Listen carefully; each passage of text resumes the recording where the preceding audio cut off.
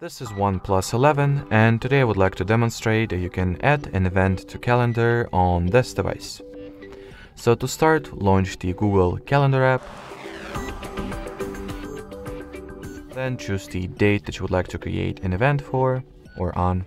I'll go with 31st of March then at the bottom right corner of your display tap at this plus button, then choose the event option and uh, at the event creation page you can set the title for your event,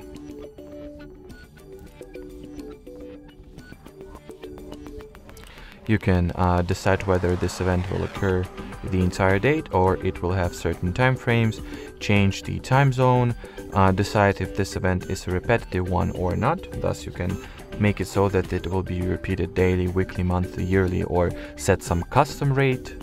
Uh, you can also invite some people to this event to share it with you, as well as add the link to the video conferencing, video conference call that this event might be, uh, well, reason for. Add location, uh, choose where, choose when you would like to be reminded about this event, set some custom color for it, uh, add description, attach files, and now once you're ready to save this event, just hit that button to your top right.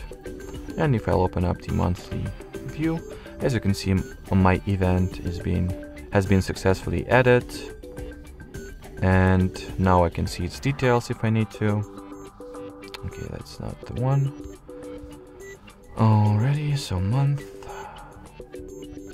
Was it March, I guess? So here is my event and now I can see its exact details. You can edit those details if you will need to, as well as uh, delete the event entirely. Alrighty, so that would be it for this video. Thanks for watching and bye bye.